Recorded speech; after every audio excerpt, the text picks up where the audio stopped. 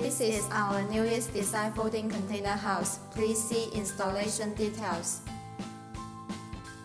Galvanized steel structure and two layers of eco-friendly paint. Outer color single steel sheet, plus glass wool insulation, plus indoor steel sheet ceiling. 40mm IEPS sandwich panel for wall. Aluminum sliding window with stainless steel security bar, sandwich panel door and lock. 18mm MGO board for floor. Stainless steel hinge on folding container is with good stiffness and toughness performance. The new type of ceilings with beautiful design. The house comes with basic electrical system, total one switch for the light and three sockets. This position is the switch and this is the socket for AC.